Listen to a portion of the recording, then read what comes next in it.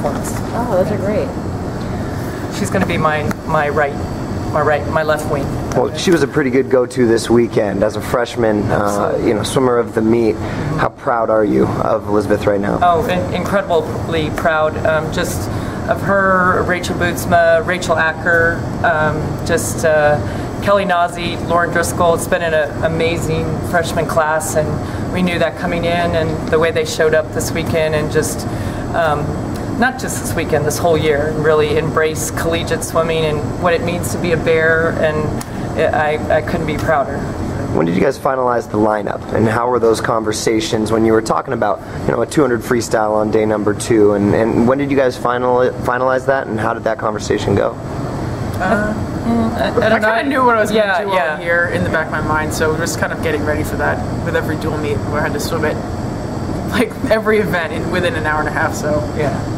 We get to Couple- swim the singles. couple of 400 IMs at the beginning, and you know, just I think doing. I, I think the thing with Elizabeth is is that she's so versatile, and to have a great career, I think it's important to keep developing different events and different, you know, and she can help us in a lot of different ways. And she's a sprinter now, so it's pretty exciting.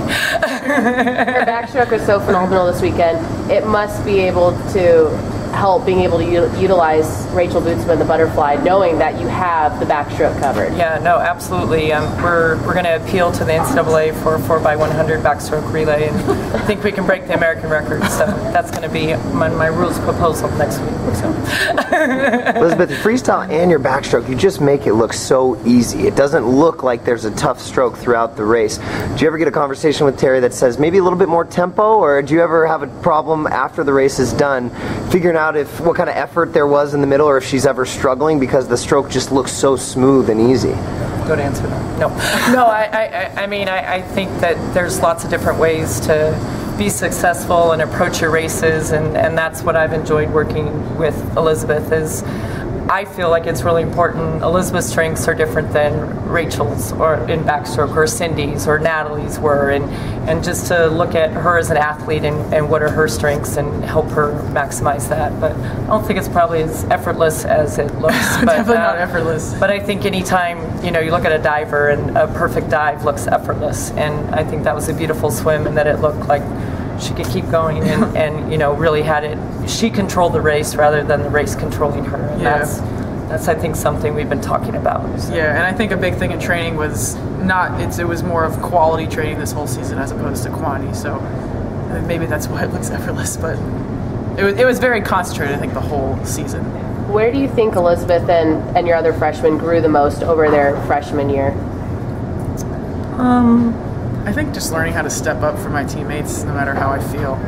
She, I had to do a bunch of swims at dual meets where I would swim at 200 IM and then get out and do a, a relay, um, so that I know when I have the 400 free relay that if I'm fresh, I can, I know I can really throw a, a good one. When you guys came in, uh, it's such an awesome freshman class. I think the expectations were this is a dynasty. They're they're not going to lose an NC2A meet for the next ten years, maybe uh, at least for the next four. Does it make it maybe a little bit more? Um, uh, do you get a little bit more hungry after a runner-up finish like this this year, uh, going into next year? Oh, definitely. Yeah, um, I think it was definitely bittersweet because I, I feel like I couldn't have done much more, but it, I don't know, next year we'll, it's on again. Great A lot job. of people, Congratulations. Yeah, yeah, thanks. Congratulations. Yeah, thank you. Very exciting.